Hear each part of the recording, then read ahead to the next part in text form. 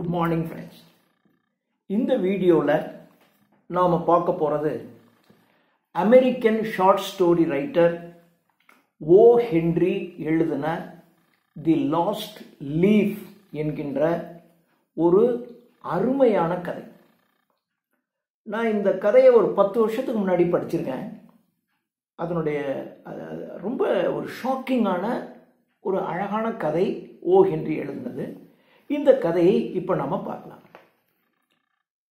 Washington square அமெரிக்காவில் Washington square அதுக்கு மேற்கு பகுதியில் ஒரு சின்ன டிஸ்ட்ரிக்ட் அந்த மாவட்டம் சின்ன மாவட்டம். அந்த மாவட்டத்தில் ஒரு ஏரியாவில் தெருக்களெல்லாம் பார்த்தீங்கன்னா ரொம்ப குறுக்கு நெடுக்குமா ஒரே சந்து பந்தாக இருக்குன்னு சொல்கிறாங்க இல்லையா? சந்து பந்தாக இருக்கணும் அது மாதிரியான ஒரு ஏரியா. அந்த ஏரியாவுக்கு பிளேசஸ்னு பேர். பிளேசஸ் ஒரே சந்து பந்தாக இருக்கும். உள்ளுக்குள்ளே போய் ஒரு ஆளை தேடி கண்டுபிடிக்கணும் அப்படின்னா அவ்வளோ சாமானியமான விஷயம் இல்லை அவ்வளோ கஷ்டமான விஷயம் அந்த ஏரியா. அதனால அந்த ஊரில் வெளியூர்ல இருந்து வரக்கூடிய ஆர்டிஸ்ட் எப்பொழுதுமே ஒரு நகரத்தை நோக்கி இந்த கலைஞர்கள்லாம் என்ன பண்ணுவாங்கன்னா நகரத்தை நோக்கி நகருவாங்க. இப்போ சினிமா ஆசை சினிமாவில் நடிக்கணும் அல்லது டைரக்ட் பண்ணணும் அப்படின்னு நினைக்கிறவனா எல்லாம் சென்னைக்கு போவோம் சென்னைக்கு போனால் இவன்கிட்ட ஒன்றும் காசு வசதியெல்லாம் இருக்காது. அப்போ என்ன பண்ணுவாங்கன்னா எங்கேயாவது ஒரு சந்து பந்தான ஒரு ஏரியாவில் ஒரு சின்ன ரூமில் ஒரு நாலஞ்சு பேர் அட்ஜஸ்ட் பண்ணி தங்கிக்குவோம் அங்கே வாடகை ரொம்ப குறைச்சலாக இருக்கும். அது மாதிரியான ஒரு ஏரியா த பிளேசஸ் அங்கே இருக்கக்கூடிய வீடுகளெல்லாம் பார்த்தீங்கன்னா இந்த ஓல்டு பேட்டர்ன் ஹவுசஸ் ரொம்ப பழமையான வீடுகள். ஏன்னா நகரத்தின் மற்ற பகுதியெல்லாம் புதுசு புதுசாக வீடு கட்டியிருப்பான் இடித்து கட்டியிருப்பான் இங்கே அப்படி இல்லை. ரொம்ப ஓல்டு ஃபேஷன் ஹவுசஸ். பழைய மாடலில் கட்டு கட்டினது. அதனால வீடும் ரொம்ப பழசாக இருக்கும். அதனால ரெண்ட்டு ரொம்ப குறைச்ச. இன்னொன்று அட்வான்டேஜ் என்னென்னா இப்போ நம்ம சினிமான்னு சொல்கிற மாதிரி இப்போ இந்த ஓகிண்டி காலத்துல எல்லாம் பார்த்தீங்கன்னா பெயிண்டிங் பெயிண்டிங் வரைகிறது. அந்த பெயிண்டிங் வரைகிற ஆர்டிஸ்ட் வந்து இப்போ எப்படி சினிமாவில் நடிக்கிற ஆசையில் போய் எங்கேயாவது தங்கிக்கிட்டு இருக்கான் இல்லையா? அது மாதிரி அந்த காலத்தில் அந்த ஆர்டிஸ்டில் தான் ஒரு பெரிய ஆர்டிஸ்ட் ஆகணுங்கிற நினப்போட அப்படியே வர்றவங்கெல்லாம் இந்த ஊரில் இந்த ஏரியாவில் தான் த- இந்த பிளேசஸ் என்கின்ற அந்த ஏரியாவில் தான் தங்குவாங்க. ஸோ இந்த தங்குகின்ற இந்த ஆர்டிஸ்ட் எல்லாம் ஒரு குரூப்பாக இருக்கிறதுனால அதுக்கு பேர் காலனின்னு பேர். காலனி அப்படின்னா குரூப் ஆஃப் ஆர்டிஸ்ட் அந்த ஏரியாவில் தங்குவாங்க. இன்னொன்று இந்த ஆர்டிஸ்ட் தங்குறதுக்கு இன்னொரு முக்கியமான ரீசன் இவன் எங்கேயாவது பெயிண்ட்டு கடை வாங்கிட்டு வந்துடுவான் பெயிண்ட்டு கடை வாங்கி இவன் வரைஞ்சி வரைஞ்சி பத்திரிக்கைக்கு கொடுத்துட்டு அந்த பணம் வாங்கி பெயிண்ட்டு காசு தரேன்னு சொல்லி கடன் வாங்கிட்டு வந்துடுவான் அப்போ அந்த கடன் கொடுத்தவன் தேடி உள்ளே வரான்னு வச்சுங்க கண்டுபிடிக்க முடியாது. அதனால இது ரொம்ப வசதியாக இருக்கும். அதனால இந்த பெயிண்டர்ஸ் பூரா இந்த ஏரியாவில் தான் இருப்பாங்க. அது மாதிரியான ஒரு ஏரியா பிளேசஸ் இந்த குரூப் ஆஃப் ஆர்டிஸ்ட் காலனி. அங்கே ரெண்டு பெண்கள்.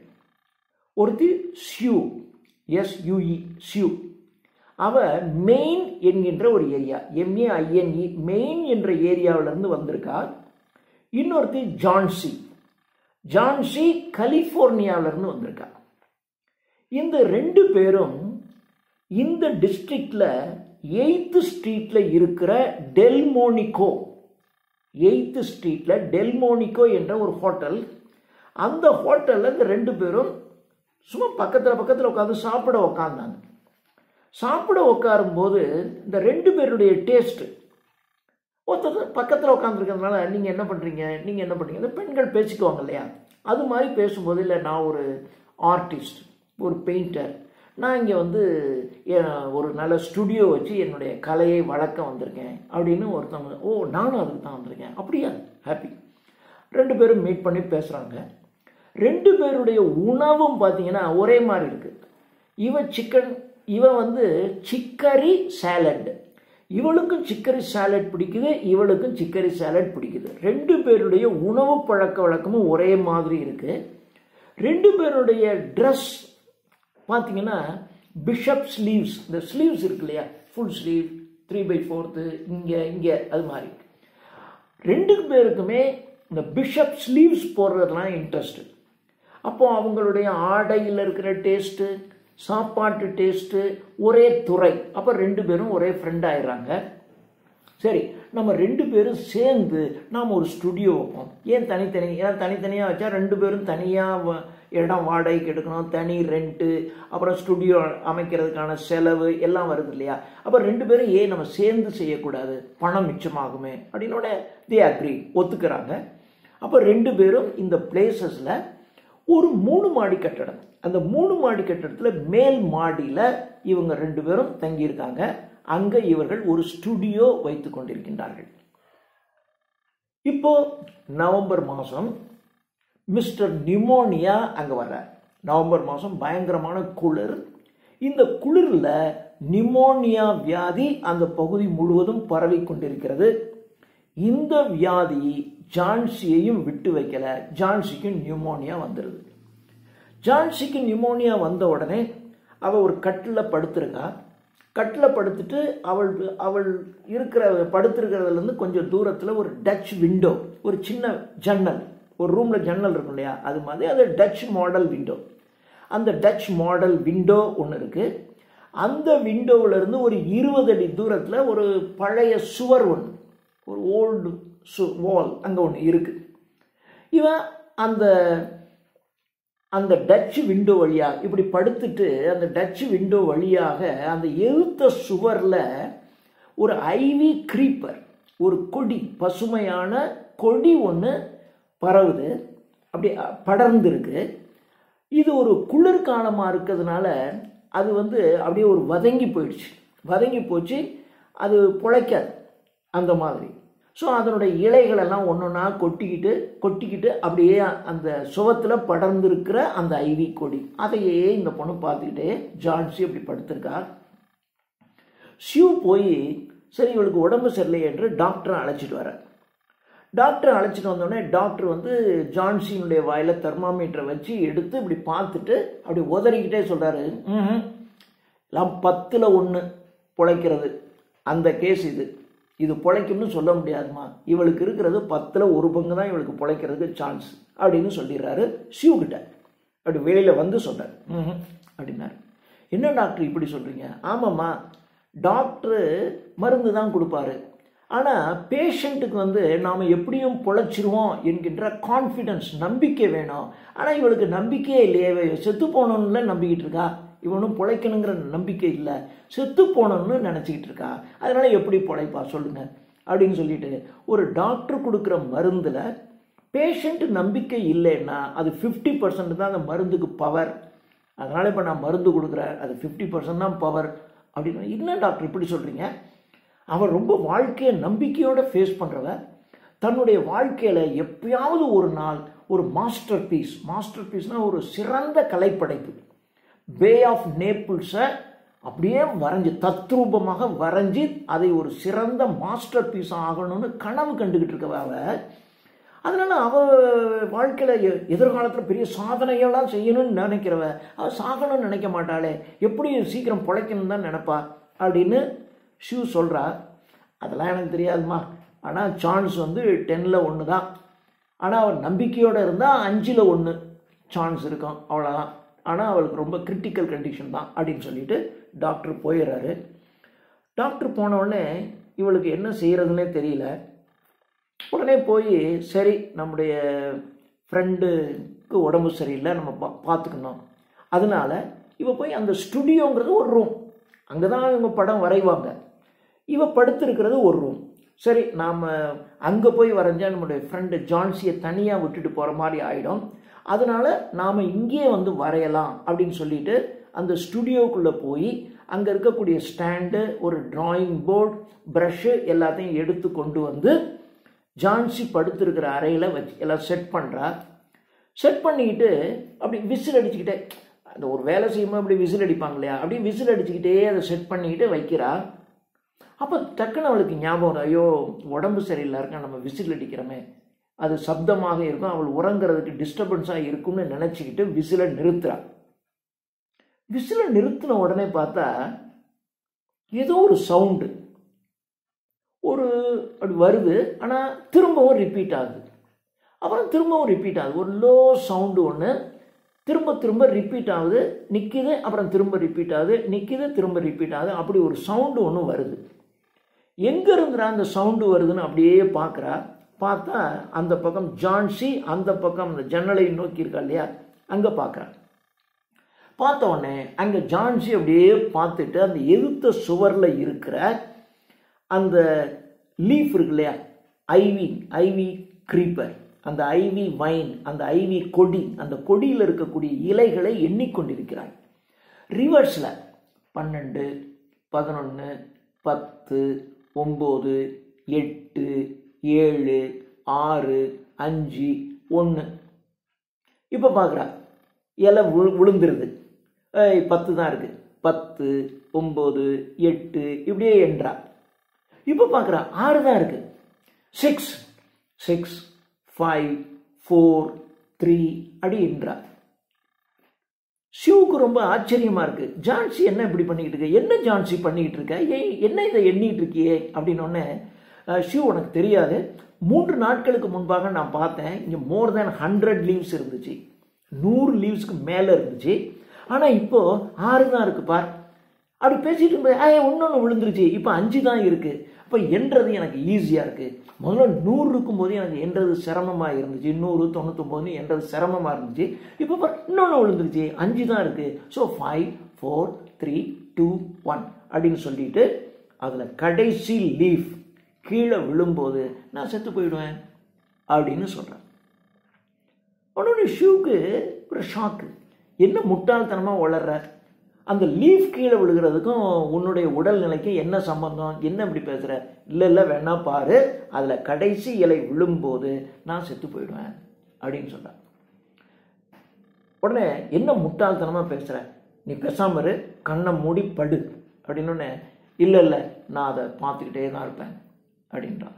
இல்லை நான் வந்து படம் வரைய போகிறேன் படம் வரைஞ்சி படம் வரையணும். அப்போ படம் வரையணும்னா எனக்கு லைட்டு தேவைப்படும். அதனால் நீ கண்ணை மூடி நீ படுத்துக்கோ. அப்போ தான் உனக்கு நல்ல தூக்கம் வரும். கண்ணை மூடிக்கோ அப்படின்னு சொல்கிறார் ஏன்னா அவள் கண்ணை மூடிட்டு அதை பார்க்காம இருக்கணுங்கிறக்காக சொல்கிறார் உடனே ஜான்சி கூலா ஏன் நீ இங்கே வரைகிற நீ போய் அங்கே வேணா வரைய. ஏன் என்ன டிஸ்டர்ப் பண்ணுற அப்படின்றா இருந்தாலும் ஷிவ் கொஞ்சம் கூட வருத்தப்படாமல் இல்லைம்மா கொஞ்சம் பண்ணு. நீ அப்படியே நீ கண்ணை மூடிக்கோ. அப்படின்னோடனே சரி ஃப்ரெண்டு சொல்கிறா அப்படிங்கிறதுக்காக சரி நான் கண்ணை மூடிக்குவேன். ஆனால் சீக்கிரம் உன் வேலையை முடிச்சிரு. இன்னைக்கு சாயந்தரத்துக்குள்ளே அந்த கடைசி இலை விழுந்துரும். அதை நான் பார்க்கணும். அதனால சீக்கிரம் ஒர்க்கை முடிச்சுட்டு எனக்கு நீ இன்ஃபார்ம் பண்ணு. என்னை எழுப்பி விடு. என்னை எனக்கு இன்ஃபார்ம் பண்ணு. நான் சும்மா தான் கண்ணை மூடிட்டு இருக்கேன் அப்படின்னு அவள் கண்ணை மூடிக்கிறா. கண்ணை மூடினோடனே ஷிவ்க்கு ஒன்றுமே புரியலை. என்னடா அப்படின்னு உடனே அவன் கீழே போகிறான் அவன் இன்னைக்கு படம் வரையணும். அவன் நினச்சிருந்தான். இந்த படத்தை வரைஞ்சி ஒரு பத்திரிக்கையில் அந்த எடிட்டர்கிட்ட கொண்டு போய் இந்த படத்தை கொடுக்கணும். படத்தை கொடுத்தா அவர் பணம் கொடுப்பாரு. அந்த பணத்தை வச்சுக்கிட்டு போர்ட் ஒயின் அது ஒரு ஒரு ஒயின் போர்ட் ஒயின் வாங்கணும். அப்புறம் கொஞ்சம் போர்க் பீஸ் வாங்கணும். போர்க் பன்னிக்கறி போர்க்கு பீஸ் வாங்கணும். போர்ட்டு ஒயின் வாங்கணும். இதெல்லாம் வாங்கி நம்முடைய ஜான்சிக்கு கொடுக்கணும். ஃப்ரெண்டுக்கு கொடுக்கணும். அதனால் நம்ம இந்த படத்தை வரைஞ்சி காலையில் கொண்டு போய் எடிட்டர்கிட்ட கொடுத்து பணம் வாங்கி இதெல்லாம் கொடுக்கணும்னு அவன் மைண்டில் நினச்சிட்ருக்கா ஆனால் இவன் இப்படி சொன்னவொடனே அவளுக்கு ஷாக்கு அப்போ அந்த படம் வரைகிறதுக்கு அவளுக்கு ஒரு மாடல் ஒன்று தேவை. அவள் கீழே இறங்கி போகிற கீழ் ஃப்ளோரில் ஒருத்தர் இருக்கார். அவர் பேர் பெர் பெர்மேன்னு பேர். பிஹெச்ஆர்எம்ஏஎன் பெர்மான். அந்த பெர்மான்ங்கிறவர் கீழே இருக்கார். கிட்டத்தட்ட அறுபது வயசு ஆகுது அவருக்கு பெர்மானுக்கு. அவர் மைக்கேல் ஆஞ்சலோ மாதிரி அப்படி ஒரு ஷார்ப்பான பேர்ட் தாடி வச்சிருக்கார். தாடி வைத்த ஒரு அறுபது வயதுக்கு மேலே உள்ள ஒருத்தர். அவரும் சின்ன வயசுலேயே இந்த ஊருக்கு வந்து ஒரு ஒரு நல்ல மாஸ்டர் பீஸ் ஒரு மிகச்சிறந்த மாஸ்டர் பீஸ் பெயிண்டிங் ஒன்று வரையணும்னு நினச்சிக்கிட்டு இந்த ஊருக்கு வந்தார். ஆனால் ஆஸ் அன் ஆர்டிஸ்ட் அவர் ஒரு ஃபெயில்யூர் ஒரு கலைஞனாக அவர் தோல்வி கண்டுவிட்டார். அவன் அந்த அறையில் ஒரு கார்னரில் ஒரு ஈசல் ஈசல்னா ஸ்டாண்டு. இந்த போர்டெல்லாம் அந்த கிளாஸ் ரூம்லலாம் அந்த போர்டு வைக்கிறதுக்கு ஒரு ஸ்டாண்டு ஒன்று இப்படி இருக்கும். அதில் போர்டு வச்சுருப்பாங்க சாட்சி. அதுக்கு பேர் ஈசல்னு பேர். அந்த ஈசலில் ஒரு போர்டு ஒன்று வைக்கப்பட்டிருக்கு. ஒரு போர்டு அந்த போர்டில் இருபத்தஞ்சி வருஷமாக ஒரு ஸ்ட்ரோக் கூட இன்னும் வரையலை. அதான் ஒரு மாஸ்டர் பீஸ் வரையணும்னு நினைக்கிறார் ஆனால் அதை வரைகிறதுக்கு ஆரம்பிக்கணும்ல. நீங்கள் ஆரம்பிச்சிங்கன்னா தானே அது வரும்.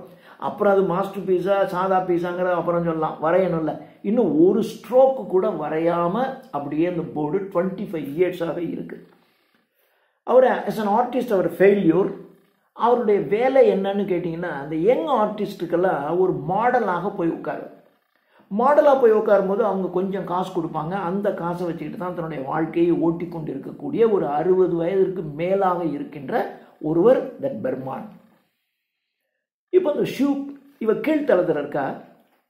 ஷூ கீழே வந்து பெர்மான் கிட்ட இந்த மாதிரி நான் ஒரு படம் வரையணும் நீங்கள் எனக்கு ஒரு இதான் வாங்க அப்படின்னு சொல்லிட்டு அவர் சொல்கிறார் இது மாதிரி ஜான்சி இப்படி முட்டாள்தனமாக இப்படி சொல்லிட்டு இருக்கா? எனக்கு பயமாக இருக்குது அப்படின்னோடனே என்ன ஒரு இடியாட்டிக்காக அவள் பேசிகிட்டு இருக்கா? என்ன ஒரு முட்டாள்தனமாக இப்படி பேசுகிறா ஆ? அது சரியில்லையே அப்படின்னு சொல்லிட்டு என்ன அவர் மேலே வர்றாரு போஸ்ட் கொடுக்கறதுக்காக. ஆஸ் அ மாடலாக உட்கார்வதற்கு வருகிறார்.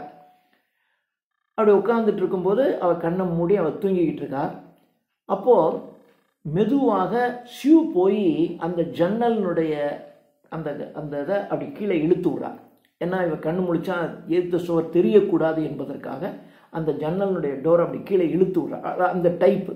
அதான் டச் விண்டோ அப்படி தான் இருக்கும் போது அப்படி மேலேருந்து கீழே இறக்கி விட்றா.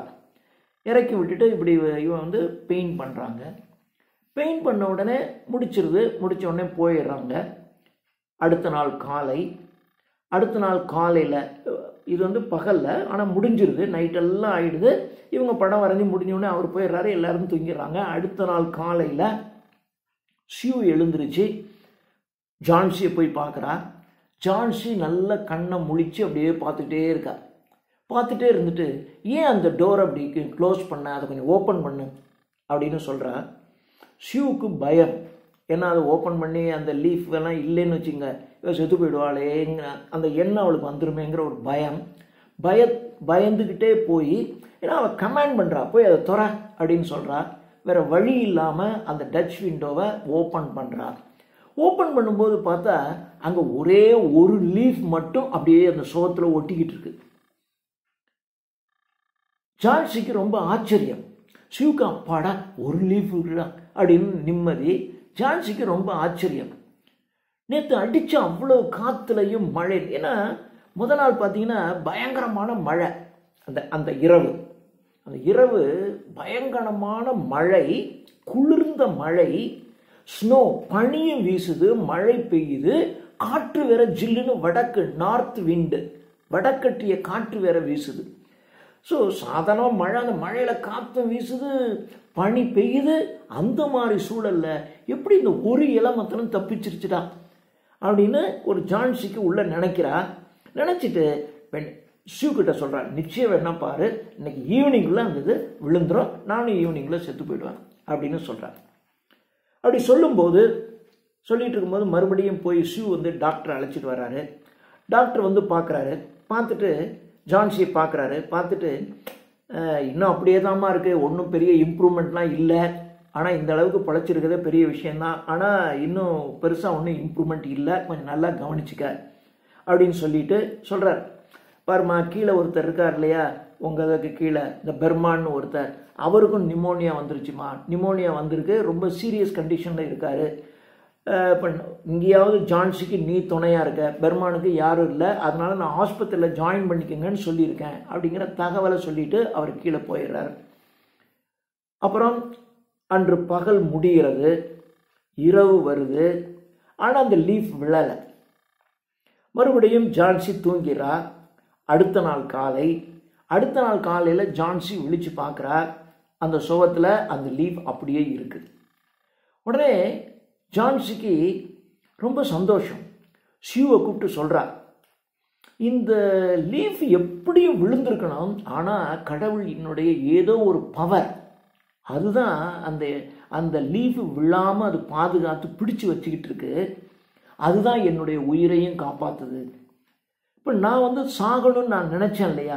சாகணும்னு நினைக்கிறது ஒரு குற்றம் அது ஒரு பாவம்.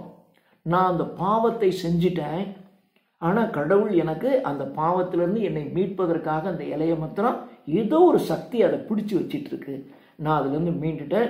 நான் சாகணும்னு நினச்சது தப்பு. சாரி அது ஒரு பா அந்த பாவத்தை நான் செஞ்சிருக்க கூடாது. நான் எப்படியும் பழைச்சிருவேன் அப்படின்னு சொல்லிட்டு அஹ், எனக்கு நீ வந்து போர்ட் ஒயின் கொஞ்சம் கொண்டு வா. அப்புறம் அந்த சூப் ஒன்று வச்சுருக்கேல்ல அதையும் கொஞ்சம் பாலும் எனக்கு கொண்டு வா. நான் சாப்பிடணும் அப்படின்னு சொல்கிறேன் இப்போ அவளுக்கு நம்பிக்கை வந்துருச்சு. நாம் சாகக்கூடாது அப்படின்னு நினச்சி நான் கொண்டு வா. நான் பே ஆஃப் நேபிள்ஸ் நிச்சயமாக நான் வரைவேன். நான் ஒரு அழகான மாஸ்டர் பீஸை நான் உருவாக்குவேன் என்று அவள் சொல்கிறா சொன்ன உடனே ஷிவுக்கு ரொம்ப சந்தோஷம். அப்புறம் அடுத்த நாள் அடுத்த நாள் டாக்டர் வர்றாரு. டாக்டர் வந்து பார்க்கும்போது ஜான்சிக்கு இப்போ நல்லா ஆயிடுச்சு அப்போ ஷியூ கிட்ட சொல்கிறார் ஷிவ் உன்னுடைய கவனிப்புனால தான் ஜான்சி பிழைச்சா. நீ தான் அவளுக்கு துணையாக இருந்த அதனால தான் ஜான்சி பொழைச்சிட்டா. ஆனால் பார் இந்த டாக்டர் பர்மா இங்கே கீழே இருந்தார் பெர்மான் என்ற ஒருத்தர்.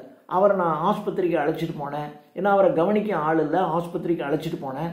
அவருக்கு ரொம்ப அக்யூட் அந்த அந்த நியூமோனியா ரொம்ப அதிகமாக இருந்துச்சு. அதனால் அவர் பிழைக்கல இறந்து போயிட்டார் அப்படிங்கிற தகவலை சொல்லிடுறாரு. சொன்னோடனே இந்த ரெண்டு பெண்களும் ஐயோ நமக்கு சப்போர்ட்டிவாக இருந்தார் கீழே அவர் இறந்து போயிட்டாரே அப்படின்னு அவங்க வருத்தம். அப்படி போயிடுது. பகல் பொழுது முடிஞ்சிருது. அன்று இரவு இரவு ஈவினிங் டைம் ஜான்சி நல்லா உட்காந்துருக்கா நல்லா உட்காந்து சாப்பிட்டுட்ருக்கா? அப்போ ஷிவ் பக்கத்தில் வந்து உட்கார்ந்து அப்படியே ஜான்சியினுடைய அவளுடைய தோளில் கைகளை போட்டு ஜான்சி கிட்ட பெர்மான் ரெண்டு நாளைக்கு முன்னாடி ஏன்னா இது மூணாவது நாள். ரெண்டு நாளைக்கு முன்னாடி பெர்மான் வந்து எங்கே போனார்னு தெரிய தெரியலை. ஆனால் முந்தா நாள் காலையில் அவர் வீட்டில் வந்து அவர் விழுந்து கிடந்திருக்காரு. அவருடைய ஷூ அவருடைய கோட்டு பேண்ட்டு எல்லாமே மழையில் நனைஞ்சு ஈரமாக கிடந்திருக்கு. அந்த ஈரத்தோடு அப்படியே வந்து ஷூவும் ஈரம் எல்லாம் ஈரம் அப்படியே வந்து வீட்டுக்குள்ளே கிடந்திருக்காரு. நியூமானியா அவரை ரொம்ப சீரியஸாக அட்டாக் பண்ணியிருக்கு அதனால தான் அவரை ஆஸ்பத்திரி அழைச்சிட்டு போயிட்டாங்க அப்படின்னு சொல்லிட்டு சொல்கிறா ஜான்சி அழைச்சிட்டு போயிட்டாங்க. ஆனால் அடுத்து அன்னைக்கு ராத்திரி பார்த்துருக்காங்க. அன்னைக்கு ஈவினிங் பார்க்கும்போது அந்த எழுத்து சுவர் இருக்கு இல்லையா? அந்த சுவத்து ஓரமாக ஒரு ஜன் ஒரு ஏணி ஒன்று சாத்தி வைக்கப்பட்டிருக்கு. அப்புறம் ஒரு லேண்டன் ஒரு விளக்கு ஒன்று எரிஞ்சுக்கிட்டே இருந்திருக்கு. பக்கத்தில் கொஞ்சம் ப்ரஷ்ஷஸ் சிதறி கிடந்திருக்கு. கொஞ்சம் பெயிண்டில் க்ரீன் கலரும் எல்லோ கலரும் மிக்ஸ் பண்ணின பெயிண்ட்டு அங்கே கொஞ்சம் இருந்திருக்கு. ப்ரஷஸ் கொஞ்சம் சிதறி கிடந்திருக்கு என்ற தகவல் அப்படி கிடந்திருக்கு. அங்கே போய் என்ன செய்தார்னு தெரியலை என்று எல்லாரும் சொல்கிறாங்க ஆக அங்கே போய் ஏதோ பண்ணியிருக்காரு அங்கே போய் நனைஞ்சு தான் இப்படி வந்திருக்காரு அப்படின்னு சொல்லிட்டு இப்போ சிவ் சொல்கிறா ஜான்சி பெர்மேன் அவருடைய மாஸ்டர் பீஸை வரைஞ்சிட்டாரு சொல்கிற பர் ஜான்சி அந்த இலையை நீ பார்த்தியா ரெண்டு நாளாக அந்த இலை காற்றுக்கு அசையவே இல்லை. மூவ் பண்ணல. காசு காற்றுக்கு ஆடாமல் அசையாமல் அந்த இலை இருக்கிறது நீ பார்க்குறியா பாத்தியா? அப்படின்னு சொல்லிட்டு ஜான்சி பெர்மான் அவருடைய மாஸ்டர் பீஸை அங்கே வரைஞ்சிருக்காரு. அப்படின்னு சொல்கிறார் இதோட இந்த கதை முடிகிறது. தேங்க்யூ